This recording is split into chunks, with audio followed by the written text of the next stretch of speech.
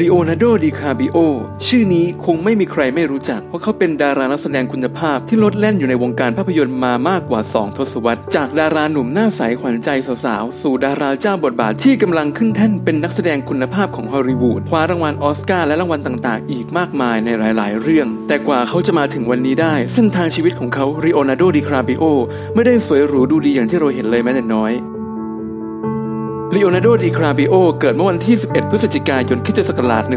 1974 เป็นนักแสดงที่เคยได้รับรางวัลลูกโลกทองคำสาขา Best Actor ของภาพยนตร์ดราม่าและได้รับการเสนอชื่อเข้าชิงรางวัลต่างๆ มาแล้วมากมาย นอกจากนั้นเขายังได้รับเกียรติเสนอชื่อเข้าชิงรางวัล Screen Actors Guild ถึง 2 รางวัล ทั้งรางวัลด้าน Best Actor ในปี 2004ดิคาปริโอนั้นยังถูกยกย่องให้เป็น Actor of the Year ที่งาน Hollywood Film Festival อีกด้วย ที่สำคัญลีโอนาร์โดดิคาปริโอนั้นถูกเสนอชื่อเข้าชิงออสการ์ในสาขานักแสดงนำยอดเยี่ยมมาแล้วถึง 6 ครั้ง และในปี 2016 ที่ผ่านมา เขาได้กวาดรางวัลด้านการแสดงในสาขานักแสดงนำชายยอดเยี่ยม จากภาพยนตร์เรื่อง The Revenant ทั้งรางวัลออสการ์และรางวัล BAFTA และรางวัลลูกโลกทองคำอีกด้วย ซึ่งผมจำได้อย่างแม่นนะครับ ว่าในวันที่เลโอนาร์โดได้รางวัลดารานำชายยอดเยี่ยมจากรางวัลออสการ์ที่เขานำแสดงจากภาพยนตร์เรื่อง The Revenant เนี่ยโหทั้งโลกนะครับผมบอกได้เลยว่ายินดีกับเขาเป็นอย่างยิ่งต่างส่งข้อความทั้งทวิตและ Facebook ในโซเชียลต่าง ๆ แสดงความยินดีกับลีโอนาร์โดดิคาบิโออย่างล้นหลามนะครับรวมถึงผมเองด้วยก็ดีใจแทบบ้านแตกเช่นเดียวกันเลโอนาร์โดดิคาบิโอนะครับก็เติบโตจากการได้เล่นทั้งภาพยนตร์และละครซีรีส์ตั้งแต่วัยเด็กตั้งแต่ช่วงปี 1990 เป็นต้นมานะครับจน 1991 แล้วก็เริ่มได้รับบทประจำในละครซิทคอมนะครับ Growing Pain จนได้แจ้งเกิดในภาพยนตร์ในหนังที่กำกับการแสดงโดยไมเคิลเคตันโจนส์นะครับต่อมาดิคาบิโอได้แสดงร่วมกับจอห์นนี่เดปป์นะครับเมื่อปี 2536 ในหนังเรื่อง What's Eating Gilbert Grape ก็ได้รับเสนอเข้าชิงรางวัลออสการ์และลูกโลกทองคำเป็นครั้งแรกนะครับจากบทชายหนุ่มพิการทางปัญญานะครับนอกจากนี้เนี่ยจากหนังเรื่องนี้เนี่ยเขาก็ยังได้รับรางวัลต่างๆ มากมายนะในสาขานักแสดงสมทบยอดเยี่ยมนะครับต่อจากนั้นนะครับดิคาบิโอของเราก็ได้งานแสดงเพิ่มขึ้นมาทุกปีทุกปีนะตั้งแต่ปี 2538 นะครับได้รับบทในหนังตะวันตกเรื่อง The Quick and the Dead นะครับแสดงกับชาร์ลอนสโตนนะครับและจีนแฮกแมนที่กำกับการแสดงโดยแซมไรมินะครับปี 2539 นะครับดิคาบิโอได้แสดงเรื่อง Romeo and Juliet นะครับของแบสเลอร์แมนนะครับคือในหนังเรื่อง Romeo and Juliet เนี่ยทำให้เขาได้รับรางวัล The Best Actor Award นะครับจาก Berlin International Film Festival ต่อมาในปี 2540 นะครับดิคาบิโอของเราได้นำแสดงเรื่อง Titanic นะครับซึ่งเป็นหนังที่ได้รับรางวัลออสการ์ในสาขาต่างๆ มากมายถึง 11 รางวัลด้วยกัน ซึ่งเลโอนาร์โดเนี่ยแจ้งเกิดจากหนังเรื่องนี้อย่างเต็มตัวนะ ต่อจากนั้นนะครับก็มีเรื่อง The Beach นะครับที่ได้เข้ามาถ่ายทำในประเทศไทยนะครับแล้วก็มีหนังต่อๆมาที่โด่งดังก็คือ Catch Me If You Can นะครับในปี 45 ที่กำกับการแสดงโดย Steven Spielberg ดิแคปิโอก็ได้รับเสนอชื่อเข้าชิงรางวัลลูกโลกทองคำนะครับเป็นครั้งที่ 3 และต่อมาในปีเดียวกัน เขาก็ได้แสดงในภาพยนตร์เรื่อง Gang of New York นะครับเป็นหนังที่ร่วมงานกันครั้งแรกของผู้กำกับมาตินสกอร์เซซีนะครับเลโอนาร์โดเนี่ยได้ถ่ายทอดการแสดงที่ดิบห่ามก้าวร้าวในหนังเรื่องนี้นะโดยรวมทั้งหมดนะครับในผลงานของเลโอนาโดดิคาปิโอเนี่ยตั้งแต่ปี 1990 เป็นต้นมาจนถึงปี 2015 นะครับผลงานของดิคาปิโอทั้งหมดเนี่ยทั้งซีรีส์และภาพยนตร์หรือว่าหนังเนี่ยมีทั้งหมด 35 เรื่องด้วยกันนะครับ ทั้งยังเป็นผู้อำนวยการสร้างนะครับกับหนังทั้งหมด 11 เรื่องด้วยกัน ผลงานที่ทำให้เลโอนาร์โดมีชื่อเสียงมาก ๆ นะครับ โอ้โห เริ่มตั้งแต่ Romeo and Juliet Titanic The Beach Catch Me If You Can Gang of New York The Aviator นะครับ Blood Diamond The Departed Body of Light Shutter Island Inception The Django The Great Gatsby นะครับ The Wolf of the Wall Street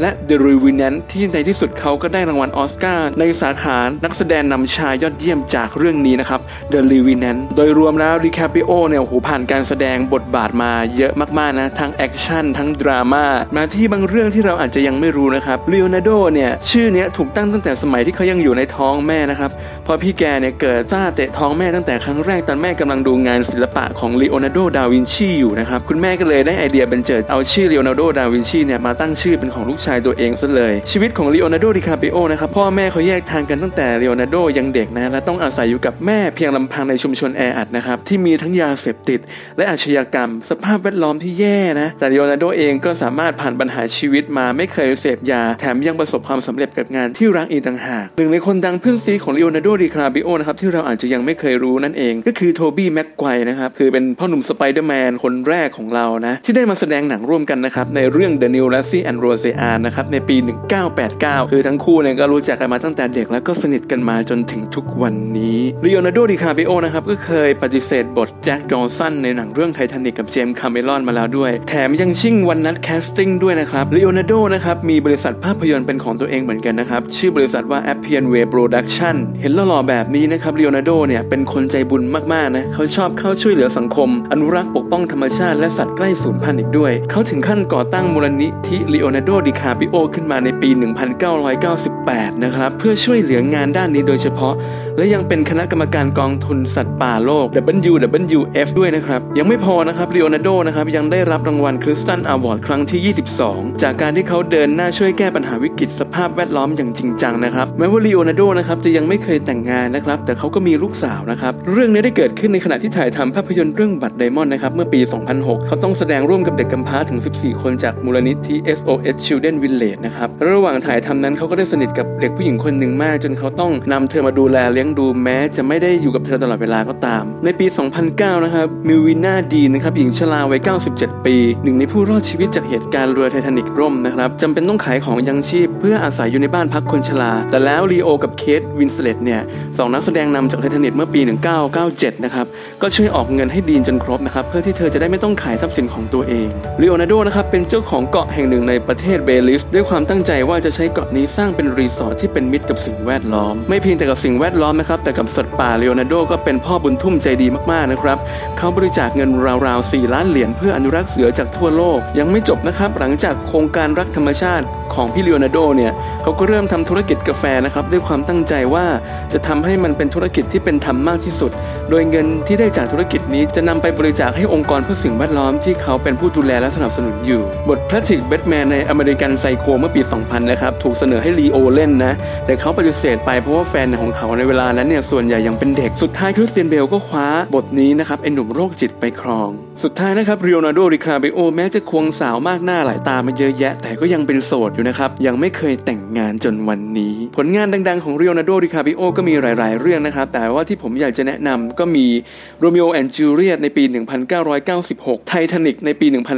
1997 The Beach ปี 2000 นะครับ Catch Me If You Can ในปี 2001 Gang of New York ในปี 2002 The Aviator ในปี 2004 The Departed ในปี 2006 Body of Line ในปี 2007 Shutter Island ในปี 2008 Inception ในปี 2010 Django ในปี 2012 The Grass Gatsby ในปี 2012 The Wolf of the Wall Street ในปี 2013และ The Revenant ในปี